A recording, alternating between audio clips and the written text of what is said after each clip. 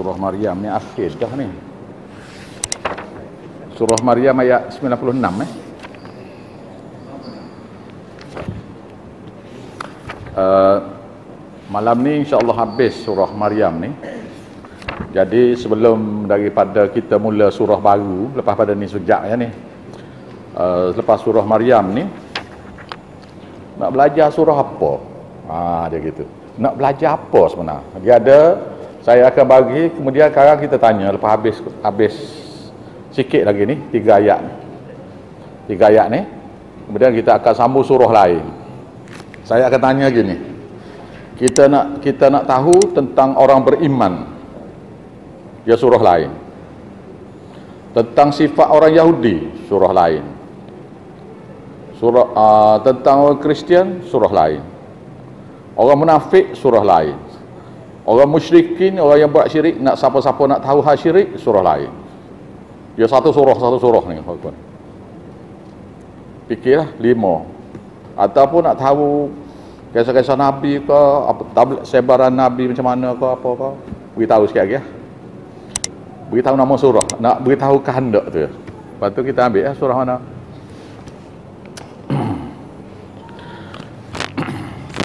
Baik, kita mula. Bismillahirrahmanirrahim. Rabbi yassir, Rabbi yassir, Rabbi yassir wa la tu'assir wa tammim bil khair. Ya Fattah, Ya Fattah, Ya Fattah. Ya Razzaq, Ya Razzaq, Ya Razzaq. Ya Alim, Ya Alim, Ya Alim. Wa bika nasta'in. Allahumma Rabbana Rabbi zidna ilma. Allahumma Rabbana ihdina siratul mustaqim. Surah Maryam ayat ke-96. Muka surat 312. Bismillahirrahmanirrahim. إن الذين آمنوا وعملوا الصالحات سيجعلهم الرحمن ودا. فإن فإنما يسرناه بلسانك. لتبشر به المؤمنون. المتقين. وتنذر به قوما لدا. وكم أهلكنا قبلهم من قرن من قرن هل تحس تحس منهم؟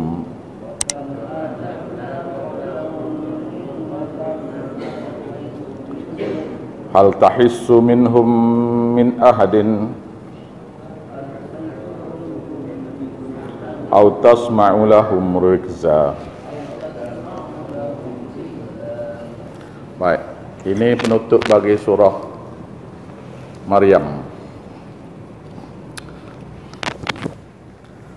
Itu hari pasal apa? Tafsir panjang sangat itu hari. Patut sudah dah.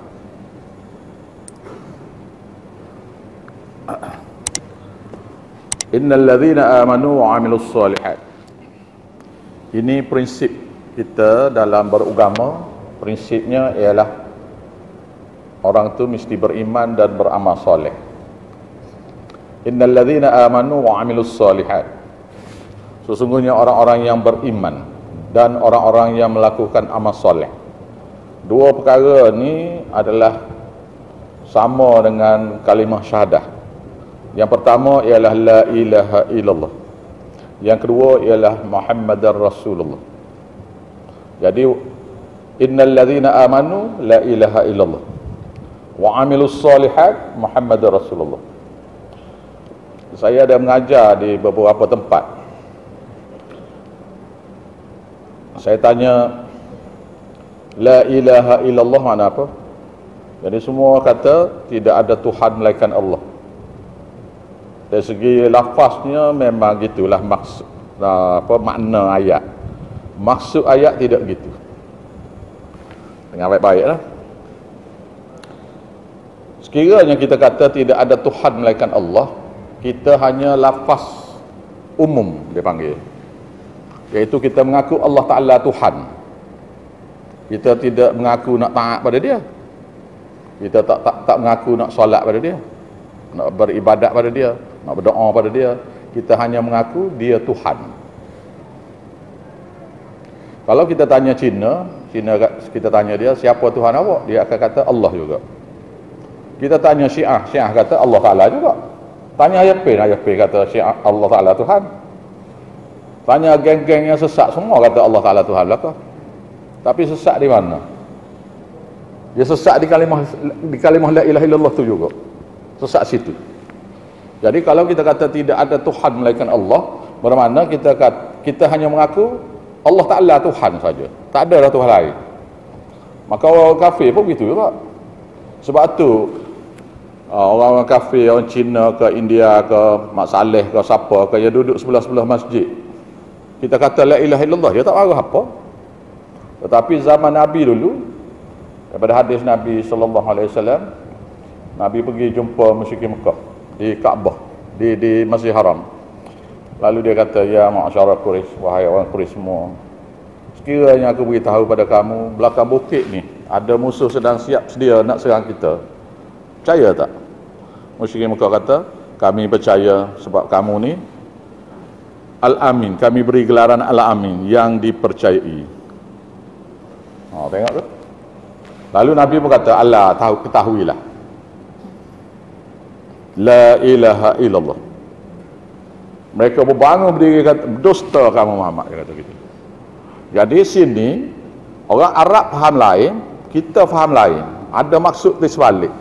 Maknanya Nabi kata gini la ilaha illallah tidak boleh lagi sembah Uzza tu berhala Uzza tu. Uzza ataupun berhala Uzza tu. Mereka sembah Allah Ta'ala direct. Jangan sembah lagi Lata tu. Sembah Allah Awak kata kepada Hindu jangan sembah berhala ni. Sembah Allah. Marah. Marah.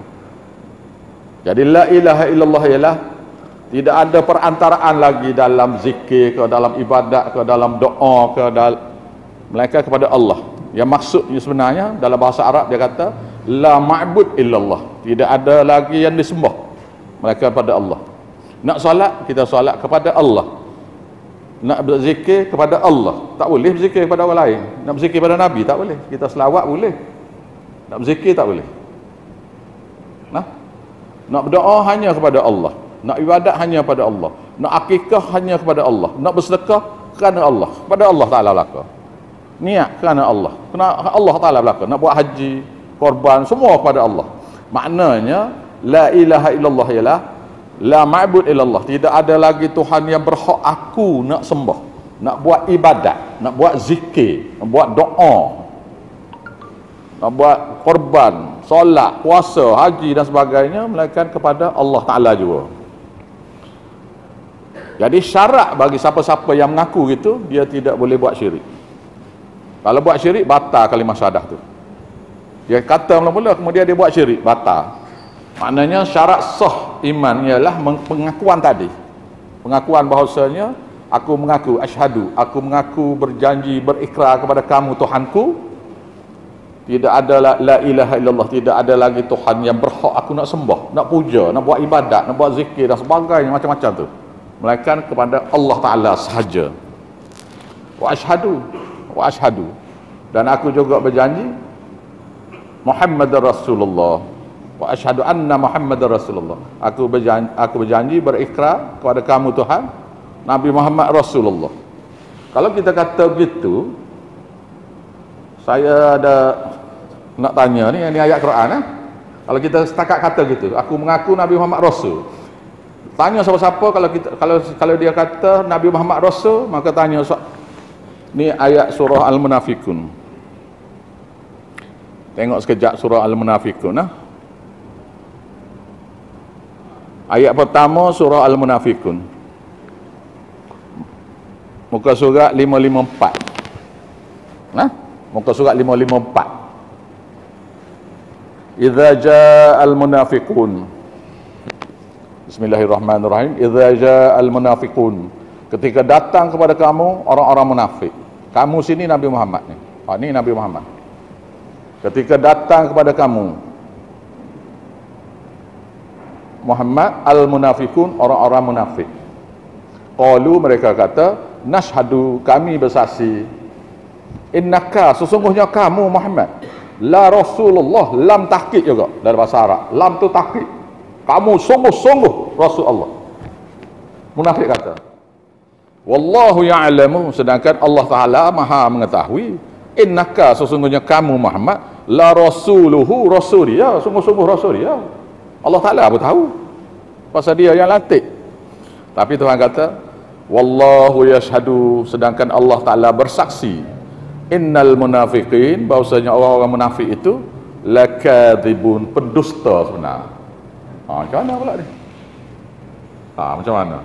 Maknanya setakat kita mengaku Nabi Muhammad Rasulullah munafik lagi. Ni ni ayat ni. Jadi macam mana macam mana? Dia kena kata kita wa asyhadu anna Muhammad Rasulullah aku mengaku aku berjanji berikrar kepada kamu Tuhan ku Tuhanku. Bahwasanya aku nak ikut ajaran Nabi Muhammad Rasulullah. Ajaran sunnah Rasulullah. Okey faham lah jadi wa'amilus salihat dan orang-orang yang melakukan amal soleh. Amal soleh ni ialah apa saja amalan daripada sunnah Nabi sunnah Nabi. Bukan hadis Nabi dah ingat baik-baik ni. Ingat baik-baik ni. Jangan keliru. Saya kena betul ni belakang ni. Pasal sunnah dengan hadis ni kita jadi keliru. Dengan baik-baik lah semua sunnah Nabi ni ada dalam hadis Nabi. Dalam kita hadis semua ada dalam tu. Dengar lah dalam kita hadis ada hadis sahih ada hadis da'ih ada hadis palsu. Tiga perkara sunnahnya ialah apa saja amalan-amalan Nabi yang diamalkan oleh sahabatnya. Kalau hadis itu sahih tapi sahabat tak buat itu bukan sunnah. Contohnya Nabi kahwin sembilan sahabat kahwin maksimum empat saja. Jadi kahwin sembilan itu bukan sunnah walaupun hadis sahih. Nah? Dengar baiklah Nabi pacak pelepah tama di atas dua kubur Sahabat yang ambil berapa tama tu jalan sekali. Sahabat yang ambil berapa tama dan sahabat yang ada sekali buat ke tidak? Tak buat. Bermakna pacak pelepah tama atas kubur tu bukan sunnah. Ia adalah hadis sahih. Nah, dia khas untuk Nabi saja. Mana Nabi pacak tu dia kata selama mana uh, daun ni hidup selama itulah mudah-mudahan dosa orang apa azab kubur orang ni akan ditangguhlah gitu lah. Nah. Mana kena faham molek-molek nah. Hadis tu sahih. Hadis tu sahih tapi bukan boleh diamal. Mana ada apa saja amalan yang diamal oleh nabi, oleh nabi dan diamal oleh sahabat. Itu hadis sahih. Itu ialah sunnah. Jadi untuk dapat sunnah tu mesti datang uh, uh, yang wajib contohnya angkat takbir semayang ke rokok asap, rokok itidar dan semua sekali itu termasuk zikir lepas solat doa lepas solat dan sebagainya macam-macam macam-macam semua itu mesti datang daripada hadis sahih sahaja. Itu sunnah dipanggil nah? Dan yang sunat pun kena hadis sahih juga ada dhaif tak boleh yang sahih Ha, yang sunat kena daripada hadis sahih. Yang sunat, ya sunnah, sunnah bahagian sunat. Contohnya takbir, takbir Allahu Akbar tu fardu. Angkat tangan tu sunat. Angkat tangan tu sunat. Maka untuk angkat tangan tu saja kena hadis sahih. Gitu lah. Nah? Faham dah saya kata ni? Jadi takbir Allahu Akbar tu itu fardu. Fardu tu mesti datang daripada hadis sahih. Yang yang angkat tangan tu kena datang daripada hadis sahih juga. Begitulah. Bacaan-bacaan dalam solat dan sebagainya tu mesti datang daripada hadis-hadis sahih. Yang sunat dan yang wajib. Hadis dhaif tak boleh guna. Untuk buat fiqh pun tak boleh. Dia sebagai perangsang saja. Wallahu a'lam. Jadi balik pada ayat ni innal ladzina amanu sesungguhnya orang-orang yang beriman iaitu tauhid dia mengesakan ada Allah Taala ni sungguh-sungguh betul. Caranya dengan ikut sunnah Nabi. Nak solat ikut sunnah Nabi. Nak puasa ikut sunnah Nabi. Nabi yang ajar. Nak buat haji, Nabi yang ajar. Nak berzikir, Nabi ajar. Semua, semua ni Nabi ajar lah. Jadi, innal ladhina amanu, sesungguhnya orang-orang yang beriman tadi, yang kata dia zikir hanya kepada Allah, dia doa hanya pada Allah, itikaf, solat, puasa semua kerana Allah tu, caranya, caranya ikut sunnah. Jadi ikut sunnah tu dia panggil wa'amilus solihat. Itu orang-orang yang beramal soleh. Saya jialah saya saya قالوا لهم الرحمن ودا.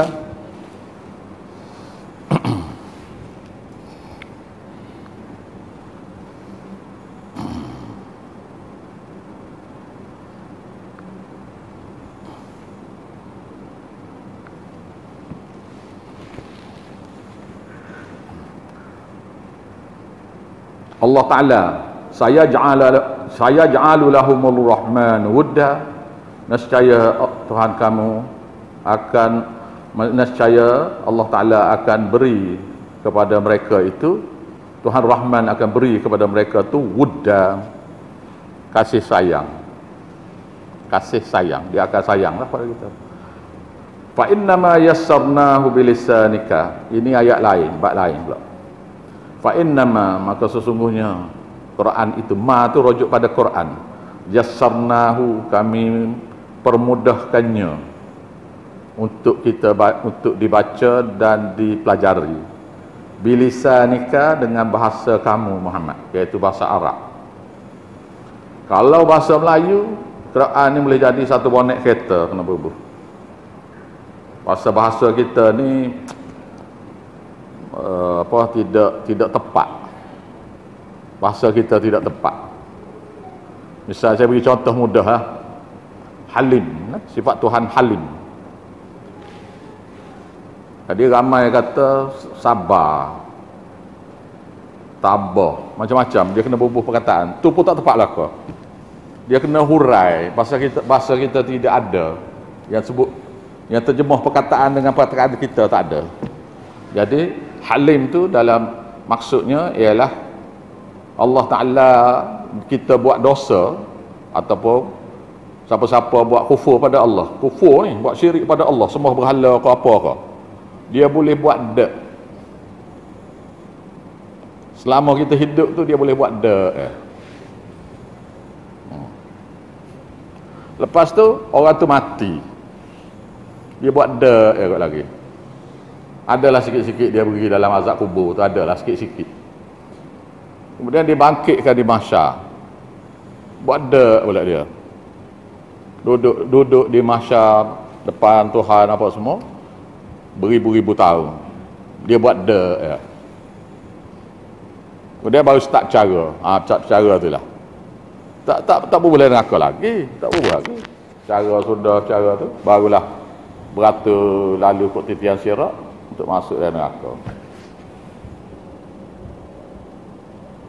Lama tu orang duk kutuk dia ni. Macam-macam orang duk buat pada Tuhan ni. Dia boleh buat dak. Maka itu maksud halim. Ha, payah tak? ha, faham ni? Maksud halim tu lagu tu.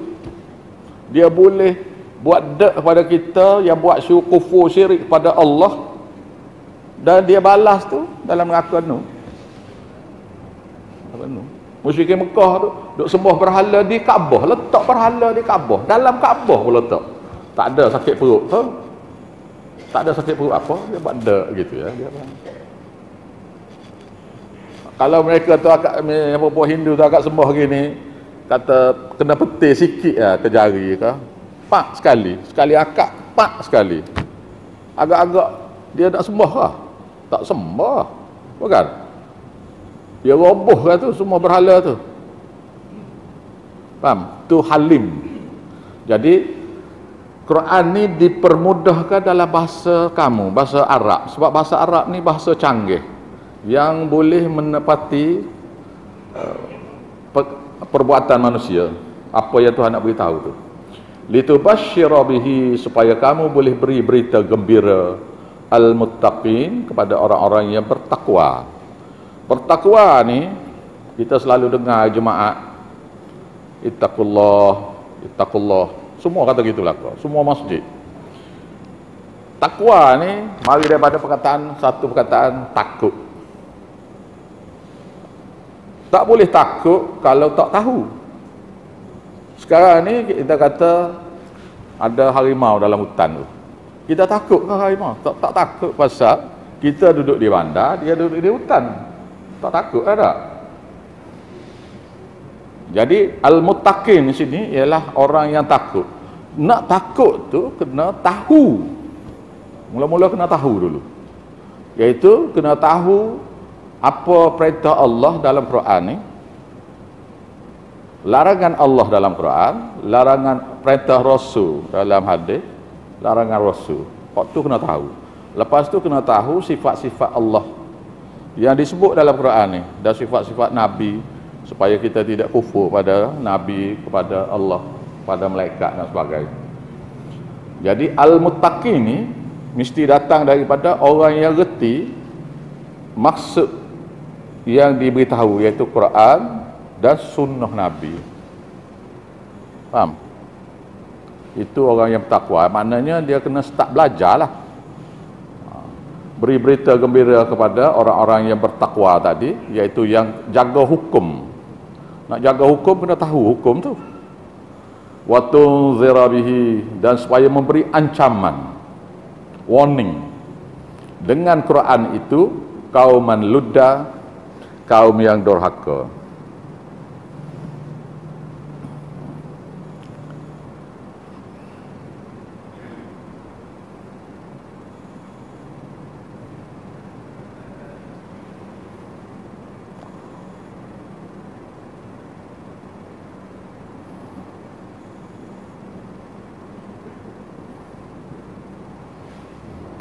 kaum maluda, kaum yang deraka, beri ancaman. Bermaknanya kita belajar ni, kita belajar tafsir Quran ni, ustaz yang mengajar tu kena beri berita gembira satu, beri warning satu. Dia tak boleh dia memang gitu dah. Satu ancaman buat gini awak akan masuk neraka. Buat gini awak akan masuk surga. Gitu ya. Tak boleh nak kiah-kiah apa tak boleh dah. Pasal belajar ni supaya kita dapat jauhkan diri kita daripada neraka. Gitu. Wa kam ahlakna qablahum dan entah berapa banyak telah kami binasakan qablahum sebelum mereka. Sebelum mereka.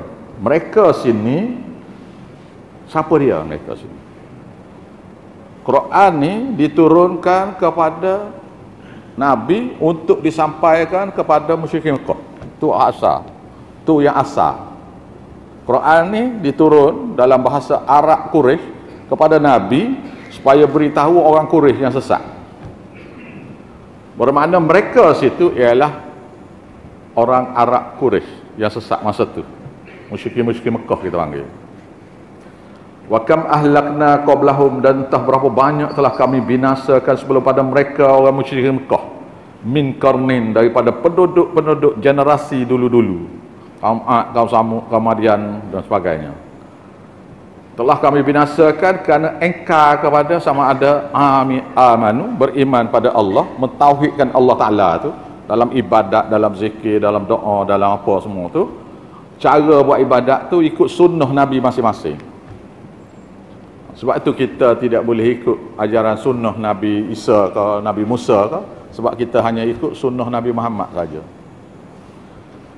Jadi entah berapa banyak telah kami matikan mereka ni sebelum pada mereka orang Mekah ni, penduduk-penduduk generasi-generasi dulu. Hal tahissuhu tahissu minhum min ahadin. Adakah kamu ada dengar ataupun ada kedengaran tak lagi bagi mereka orang Mekah tu? Rikza iaitu bisikan-bisikan, suara-suara orang yang mati je. Tak ada lah. Tak ada lah, mati belakang. Maknanya, jangan sampai, maksud ayatnya, jangan sampai kita ni mati baru nak menyesal. Ha, tak guna lah. Mati, menyesal, tak guna. Sebab yang mati kafir dulu pun, semua tak cakap apa dah. wallahu alam habis baik sekarang ni nak tanya. Tanya balik ni. Kita nak belajar tentang orang-orang beriman macam mana? Satu soalan ni. Ikutlah siapa-siapa beri cadangan. Kita kita kita buka lah surah mana-mana ni. Ada surah dia ni khah ni. Nak tahu tentang orang beriman. Nak tahu tentang orang kafir. Orang kafir ada empat jenis saja. Tak dengar? Tak dengar? boleh?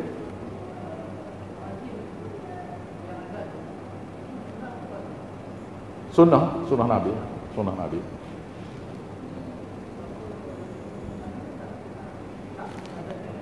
tak dengar?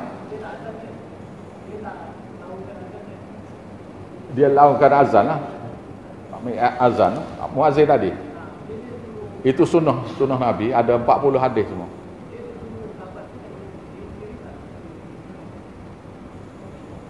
jelas tu. Ha? tak dengar? Ah, tak tak. Nabi tidak baca cuma sahabat yang baca. Ah, dia suruh sahabat baca. Uh, orang yang uh, orang yang bermimpi boleh boleh uh, azan tu tidak tidak jadi juru azan ataupun muazzin daripada hadis. Daripada hadis tu ada seorang mimpi bahawa malaikat cakap beritahu dia azannya kena gini macam kita baca tadi lah dibaca tadi. Dan dia beritahu pada Nabi. Nabi kata boleh ikhomah pun sama kok dia juga ajar. Kemudian dia minta nak jadi muazzin. Nabi kata tak boleh kamu. Beri kepada Bilal. Dan beri kepada dia untuk baca iqamah itu itu sunnah dipanggil pasal Nabi akui dan dan Nabi suruh sahabat buat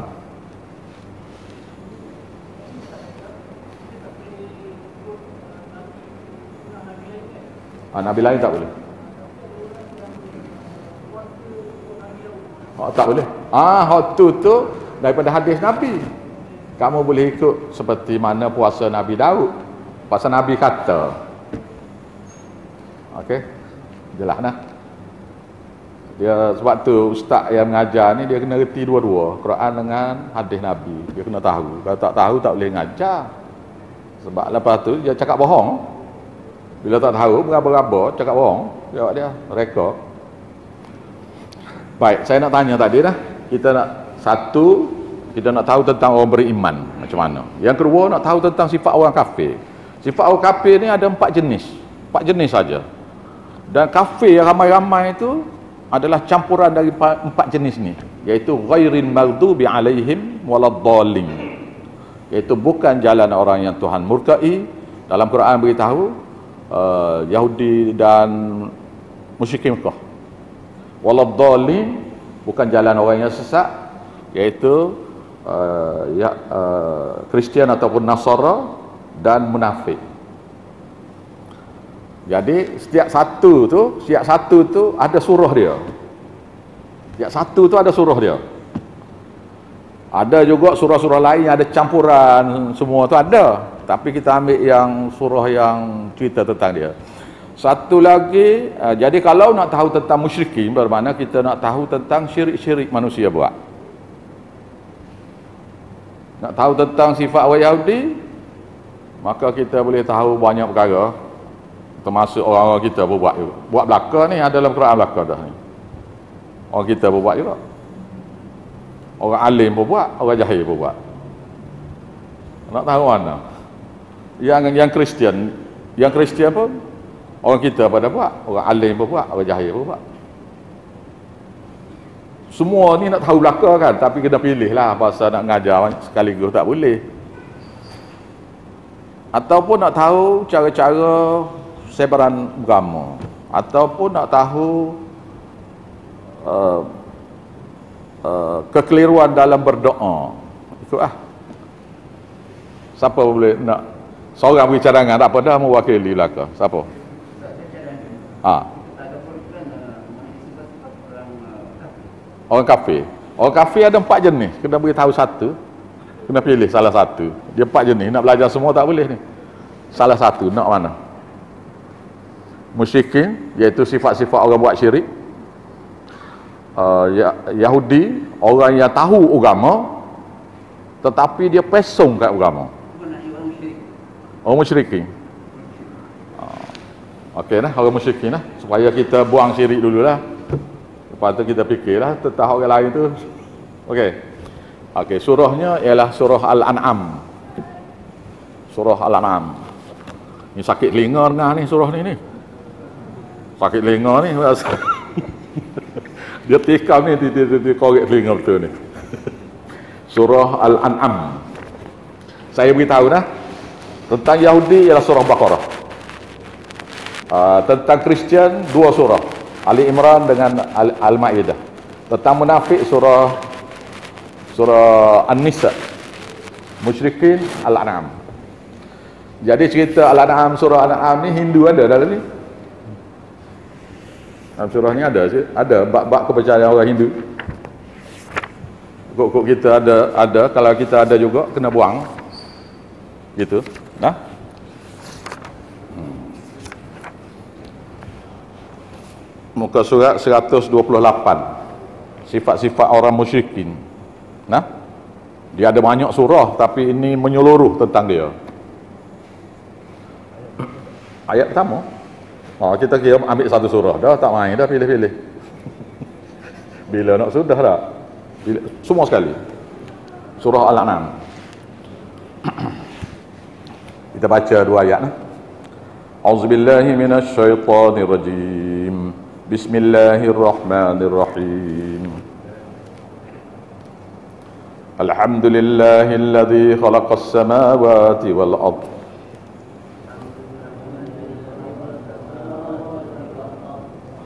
وجعل الظلمات والنور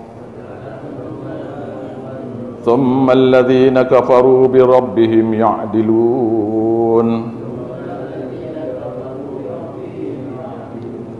هو الذي خلقكم خلقكم من طين. ثم قضى أجلاً وأجل مسمى عنده.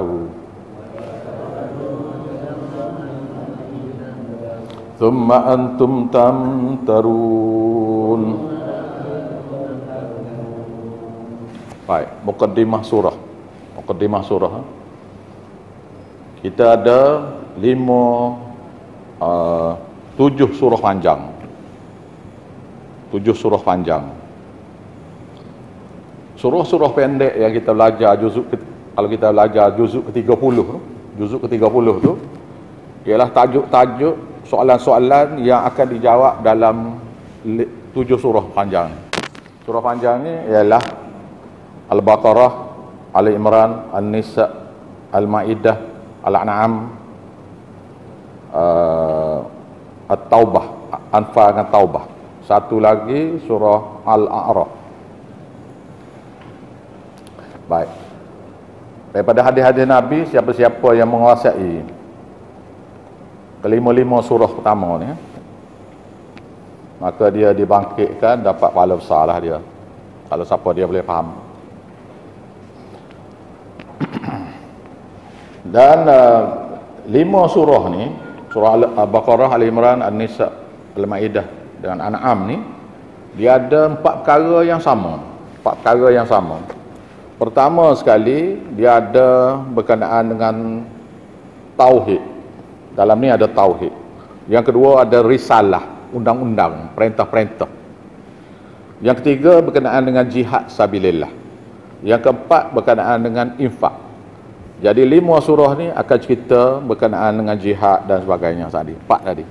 Tetapi di celah-celah lima, di celah empat perkara tu ialah sifat-sifat yang tadi lah dan ada kadang-kadang ada cerita-cerita Nabi dalam tu celah-celah baik dalam surah Al-An'am ni surah Al-An'am ni tafsir bagi surah Az-Zumar. Surah Az-Zumar tu tafsir bagi ayat Quran ihdinas siratal mustaqim. Mana kita baca ihdinas siratal mustaqim. Ah sorry. Iyyaka na'budu. Kepada kamu saja Tuhan kami sembah tafsirnya surah Az-Zumar. Tafsir bagi surah Az-Zumar ialah surah ni. Surah ni. Surah ni. Ada lagi satu surah dia panggil surah Yunus. Wa iyyaka nasta'in tafsirnya ialah Hamim tujuh, tujuh Hamim. Lepas tu tafsir bagi tujuh Hamim tu ialah surah Hud.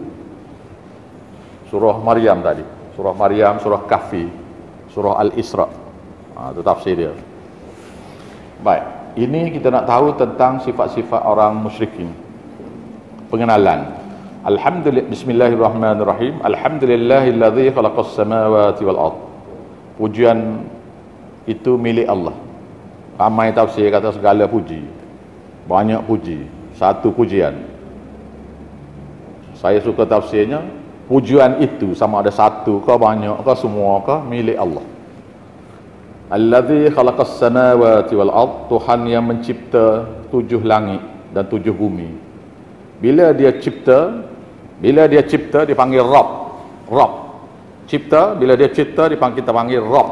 Dia mencipta daripada tak ada kepada ada. Yang kedua, dia memiliki ciptaan dia. Dia cipta, dia kena milik. Dia cipta daripada tak ada, asalnya tak ada apa-apa. Kepada ada. Kemudian bila dia cipta, maka dia miliki. Selepas dia miliki, dia mesti menyempurnakan keperluan makhluk yang dia cipta. Kalau tidak, dia tidak dia tak, tak panggil Tuhan. Maknanya Allah Ta'ala cipta kita misalnya. Dia mesti memberi segala keperluan hidup kita. Cuacanya, makan minumnya. Dia kena beri pada kita ni. Kalau tidak, kita mati dia kena dia kita kena makan kemudian ada angin kentuk jadi kalau dia tak beri kentuk sudah kembung gitu. Lah nak buang tu pula nak buang tu dia jadi sedap. Kalau dia beri sakit macam orang kena buasir tu tak mau berak jadi. Maka keperluan hidup ialah rasa sedap tu. Ha. Kalau tidak awak tak nak makan ni jadi. Ataupun minum air maka kencing. Kencing tu berasa sedap kalau kencing tu berasa sakit awak tak nak minum air. Bagi orang yang kena batu karang tak mau minum air jadi bukan? Tidur tu pula kena jadi lena. Kalau tidur tak cukup tidur pening kepala. Macam-macam. Semua tu dipanggil keperluan hidup. Maka lelaki kena kahwin dengan orang perempuan. Orang perempuan kena kahwin dengan orang lelaki. Kena ada keluarga ada anak. Itu keperluan dipanggil selain daripada itu ada keperluan-keperluan yang kita tak tahu. Tapi memang dia je beri. Jadi Allah Ta'ala dia mencipta dia memiliki dan dia menyempurnakan segala keperluan hidup makhluk yang dia cipta. Tak kira makhluk apa dia cipta tu. Yang, ke, yang keempat dia memberi kalau manusia dia akan memberi hajat-hajat manusia dia uji kemudian orang tu ada masalah maka minta doa boleh. Itu hajat-hajat menyempurnakan hajat-hajat manusia. Itu Rabb dia panggil.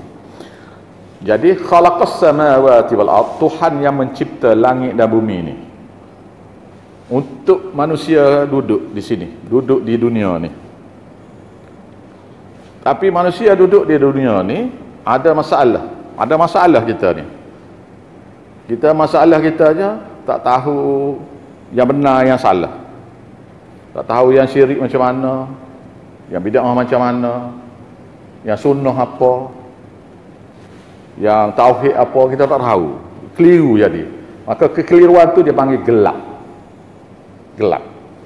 Misalnya lampu sini tak ada, tak ada lampu jadi gelap tak nampak apa bila pasang lampu cerah belaka kita tahu arah kiblat ada tiang ada apa semua kita tahu belaka kalau gelap jalan belaka. Tak. Maka Allah Ta'ala kata tujuan buat langit bumi ini supaya manusia menyempurnakan keperluan hidup manusia yang dia cipta tu. Sebab tu dia cip, dia buat langit bumi kerana manusia nak duduk di bumi. Dan semua ciptaan langit dan bumi itu untuk manusia. Waj maka manusia itu diuji. Dalam ujian itu dalam ujian tu Tuhan kata wa ja'ala dhulumati wan nur dan dia jadikan gelap dan cahaya. Iaitu dia yang berbagai-bagai jenis kegelapan. Iaitu berbagai-bagai jenis syirik yang manusia tak nampak. Nur satu ya. Lampu satu ya. Suluh kalau orang betul-betul tahu tauhid ni maka dia akan tahu syirik tu. Thumma jal thumma alladhina kafaru bi rabbihim ya'dilun. Kemudian orang-orang yang kufur. Orang-orang sini innal thumma alladhina kafaru. Kemudian orang-orang yang saya suka tafsirnya ialah engkar. Kafir itu engkar kepada tauhid. Orang, orang kafir itu dia engkar pada tauhid. Sebab tu dia sembah berhala. Ha? orang syiah tu engkar pada tauhid. Sebab tu dia sembah kubur tok wali dia tu gitu jadi thumma alladhina kafaru bi rabbihim kemudian orang-orang yang engkar pada tauhid Tuhan mereka tu yang dilun mereka ber, membantah membantah sini berpaling daripada tauhid mengesakan Allah Taala tu. Hmm. Tafsir ayatnya ialah dalam surah Nahli ayat 48 dan surah Al-An'am ni ayat 153. Kita tangguh dululah tafsir dia tu. Nah. Baca ni tu. Huwallazi khalaqakum min tin. Dialah Tuhan yang menciptakan kamu min tin daripada tanah kamu sini bukan kita ni kamu sini ialah Nabi Adam Nabi Adam kamu sini tok nenek kena tulis itu tok nenek kamu Nabi Adam alaihissalam dia seorang aja dicipta daripada tanah uh, Siti Hawa nya tak tahu dicipta dengan apa. Tak ada hadis yang mengatakan buat daripada tanah juga ke apa ke tak tak diberitahu. Waktu lah rusuk tu keliru manusia ya. Nah ciptaan daripada apa tak diberitahu. Jadi setakat tu ialah saya berani kata. Jadi kalau nak kata telur rusuk saya tak berani kata telur rusuk pasal tak ada ayat yang kata tidak ada hadis yang kata dia dibuat daripada telur rusuk. Hadis Nabi kata gini orang perempuan tu seperti tulang rusuk bengkok gitu kalau kita meniti kata dia tu okey ya kalau kita paut nak suruh jadi jadi strik patah gitu ya. Itu hadis Nabi tu yes. okey dah. Uh, huwallazi khalaqakum min tin. Dialah Tuhan yang menciptakan kamu situ Nabi Adam daripada tanah. Kitanya uh, dicipta kita daripada nutfah kita. Air mani kita ni. Kita daripada air mani daripada anak cucu. Tapi ayat sini tak ada jadi ciptakan kamu asal tok nenek kamu daripada tanah kemudian kitanya pula daripada sperma ni ataupun nutfah ni air mani ni. Thumma qada ajala. Kemudian Allah Taala tetapkan tempoh hidup. Tetapkan tempoh hidup manusia satu kadang-kadang orang tu hidup mati hidup. tak beranak lagi mati dah. Umur setahun mati dua tahun tua tak mati lagi. Seratus tahun pun tak mati lagi. Duduk duduk atas katil tak mati juga lagi. Ada. Itu ketetapan Tuhan. Dalil-dalil tempoh. Dalam pada tempoh akhir balik sehinggalah dia tu nyanyuk. Maka tempoh tu saja ujian. Masa dulu akhir balik tak kira. Masa sudah nyanyuk tak kira masa pensan tak kira masa pitam tak tak kira masa kena koma tak kira nah yang kira ialah masa hidup tu ya Jadi kalau kira-kira kita ni berapa berapa jam sehari buat ibadat pada Tuhan? Solat boleh ke sejam? Lima waktu. Boleh ke sejam? Solat. Boleh. 24 jam sejam. Kita duduk di tandas lebih lama daripada kita solat lagi sebenarnya. Kita duduk kedai mamak pun lebih lama pada kita. Kita tidur lebih lama. Nah. Tapi Allah Ta'ala buat kira yang kita boleh buat amal soleh tu. Kita beriman, syarat beriman. Kalau tidak syirik, mengucap kalimah syahadah, tidak syirik, beres. Buat amal soleh seperti sunnah Nabi, beres. Sikit banyak, itu cerita lain. banyak cerita lain. Dan yang satu lagi jangan buat balik dosa. Dosa masing-masing kena ada. Dosa masing-masing ada maka caranya ialah nak tidur malam minta ampun dosa semua sekali. Nak tidur. Mengucap kalimah syahadah sikit kali. Kata radinan billahi rabban wa bi islami dina wa bi muhammadin nabiyya wa rasulah beredalah Islam agamaku Allah Ta'ala Tuhanku Nabi Muhammad Rasulku. Katalah sekali. Tak ingat kau Arab ingat kau Melayu tak apa dah? Kata sebelum tidur istighfar tiga kali. Kita baca doa minta nak minta apa? Baik. Sambung. Wa ajalum musamman indahu dan suatu tempoh yang sudah ditetapkan di sisinya. Tadi tempoh lain. Oh, ini tempoh lain. Ini tempoh ni tempoh bila nak kiamat? Yang Allah Ta'ala tetap di sisi dia. Wa ajalan tu. Wa ajalum musamma indahu. Dan Allah Ta'ala tetapkan tempoh kiamat tu bila? Di sisinya. Kiamat sini ada dua makna. Satu kiamat kiamat besar tu. Satu lagi kiamat mati jadi adakah kita yakin 100% kita ni hidup lagi esok pagi? Oh, tak sekira jauh lah kira esok pagi sudah. Kalau kita yakin boleh hidup lagi esok pagi, beres eh? Jadi kena minta ampun sebelum, nah. Thumma antum tamtarun kemudian kamu masih juga ragu-ragu tentang mentauhidkan Allah, tentang sunnah Nabi ini masih ragu-ragu. Wa antum antum kemudian kamu tamtarun berada dalam keraguan tentang tauhid dan tentang sunnah. Wa huwa alladhi fis samawati wa fil ardi dan dialah Tuhan di langit sana. Tuhan kata, dialah Tuhan di langit sana. Wa fil ardi dan dia juga Tuhan di bumi dia di langit tu Allah Taala juga Tuhan. Di bumi Allah Taala Tuhan. Maknanya makhluk yang ada di langit semua minta tolong Tuhan. Makhluk di bumi semua minta tolong Tuhan. Ayat lain lillahi ma fis samawati wa ma fil ard. Milik Allah lah makhluk-makhluk di langit dan makhluk-makhluk di bumi. Makhluk di langit tak sekira lah bintang-bintang tu kita ambil. Makhluk di langit apa? Roh nabi-nabi rasul-rasul alaihissalam wali-wali orang beriman di Iliyin langit ketujuh. Dan juga melekat-melekat. Jin tak ada. Di dunia pula di bumi milik Allah di bumi makhluk manusia di bumi sekarang ni jin yang ada di bumi sekarang ni melekat yang ada di bumi sekarang ni dan roh-roh orang kafir yang ada di bumi sekarang di dasar bumi sijin bawah.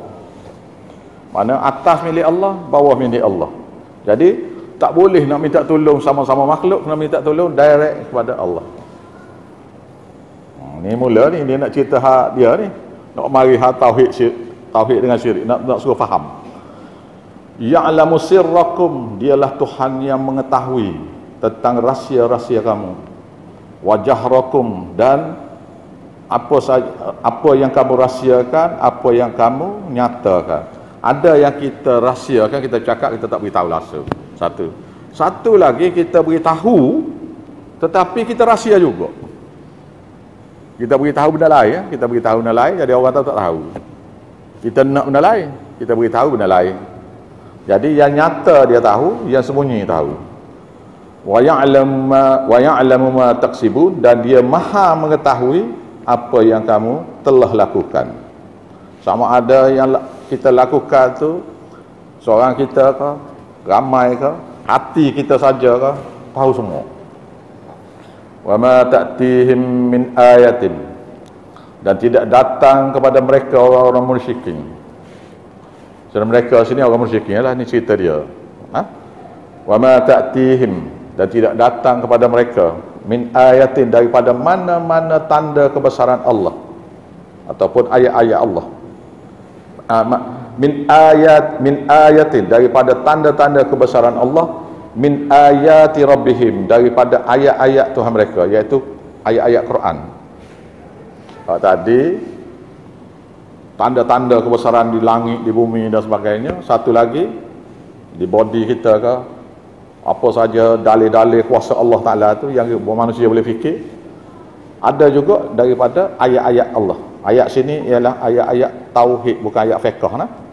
Bukan ayat-ayat fiqh. Illa melainkan kanu mereka tu dulu. Selalunya anha terhadap ayat-ayat Allah Taala.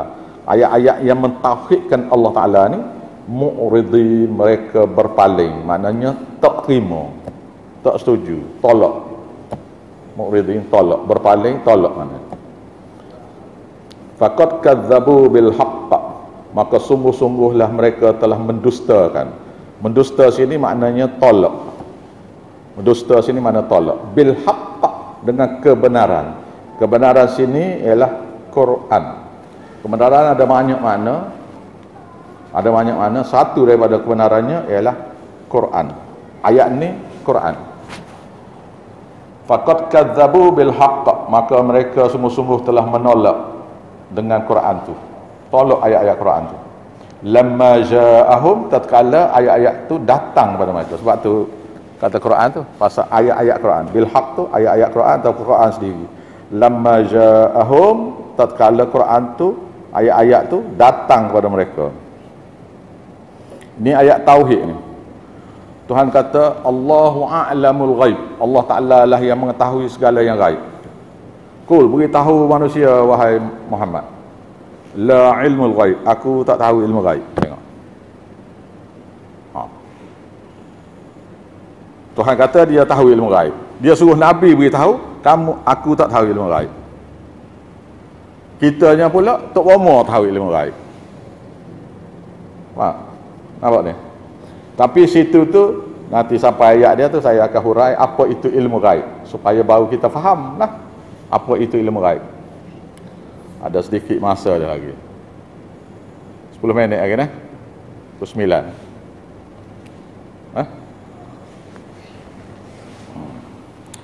Faqad kadzabu bil haqq maka sungguh-sungguh telah mereka menolak ayat-ayat bil haqq tu Quran iaitu ayat-ayat Quran lamma ja'ahum tatkala Quran tu datang pada mereka maka akibat daripada apa yang datang.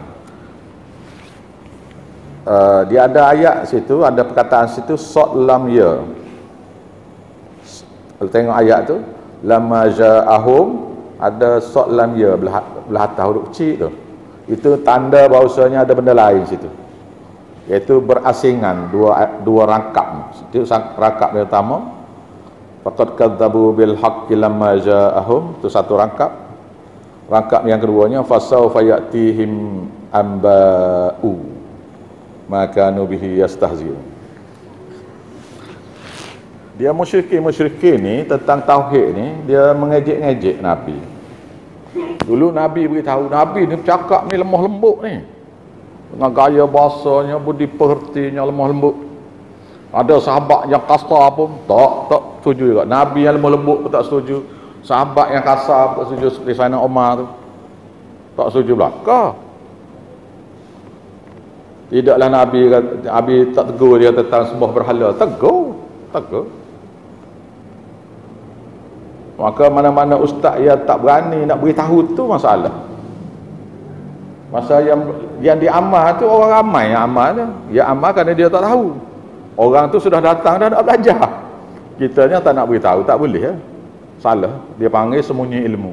Sembunyi situ ustaz tu kalau dia tak tabat dah saya mengajar semula neraka kekal.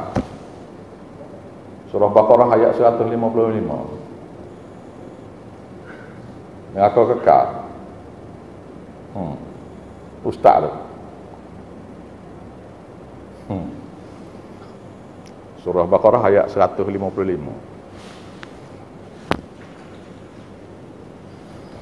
jadi ajakan tauhid Nabi buat ni Nabi dan Nabi-Nabi dulu buat semua mengajak semua Nabi-Nabi dulu kata uh, Allah ta'budu illallah. Jangan kamu sembah, ibadat, zikir, doa dan sebagainya melainkan hanya kepada Allah Taala saja. Nabi kita kata la ilaha illallah. Tidak ada lagi Tuhan yang berhak disembah dipuja melainkan pada Allah Taala saja. Supa ya maknanya. Supa ya. Jadi semua nabi-nabi itu bawa ajarkan tauhid tadi. Mereka tak setuju kerana guru-guru mereka, guru-guru sesat tu. Duk ajar kepada mereka boleh. Ha, ni. ni ni kalau jumpa dengan orang yang kata boleh scan jin ke apa kita baca ayat Quran dia marah ni. Marah dia. Ha. bohong boleh scan jin ni bohong. Saya kalau depan saya, saya, saya tanya lagi. Kalau dia ada depan saya tanya ni. Scan macam mana? Nabi tak boleh scan dia boleh scan. Gitu. ah, ada tiga ekor tu atau lakai tu? Eh, ada lah apalah di kaki lah. Semua ni karut belakang apa nanti sampai ayat dia kita baca ayat dia. Ada empat ni dalam surah ni. Fasawfa yatihim amba'u pasti kalau akan datang kepada mereka berita-berita. Berita-berita azab. Berita-berita azab yang akan ditimpa kepada mereka.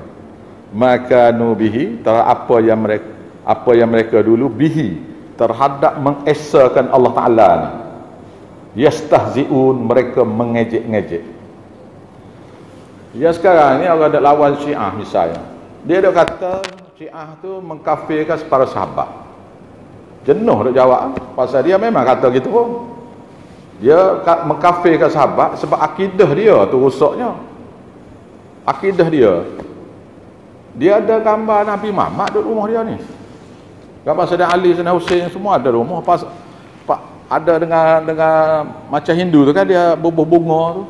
Ada. Letak situ gambar dia. Dia tak tunjuk ke kita je. Dia tengok situ menangis dia serupa serupa tu. Apa Kristian tu. Kalau kata hak tu barulah meleting baru tahu. Kita pergi lawan salah tajuk. Eh? Dia ni kata uduh kepada ahli sunnah ni kerana dia nak bela hak dia tu lah untuk sembah berhala sana Ali sana Hussein tu. Berhala ni dah bentuk gambar eh, baru ni. Lah ni sikit lagi buat berhala tu jadi kita je kalau kita tak faham ni maka kita akan jawab pada dia dari segi apa yang dia kata. Tak ada apa tu. Awak jangan kata uduh kepada berhala Hindu tu Awak kena tanya dia, itu berhala tu boleh jawab tak awak tanya dia? Tuhan awak siapa? Ni siapa dia ni? Ni siapa? Tanya tu. Tanya tu baru dia tu. Jadi kelak akan sampai kepada mereka berita-berita maka nubihi terapa yang mereka dulu bihi terhadap mengesakan Allah Taala ni yastahziun mereka mengejek-ngejek. Pasti kelak ni bila ni?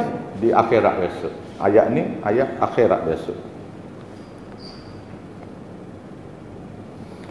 Alam yarau tidakkah kamu tengok iaitu tidakkah kamu tahu kam ahlakna min qablihim entah berapa banyak kami binasakan sebelum pada mereka orang Mekah ni min qarnin daripada penduduk generasi-generasi dahulu makannahum yang kami telah tetapkan mereka beri kedudukan pada mereka jadi kaya jadi jadi kaya raya jadi tamadun fil ardi di atas muka bumi ni kaum Ad tu kaum Ad tu cerdik ada tamadun besar kaum Madian supo supo semua ni tamadun tamadun tamadun besar belaka kita pula diajar Bahawasanya mereka ni orang perbokala, tak pakai baju.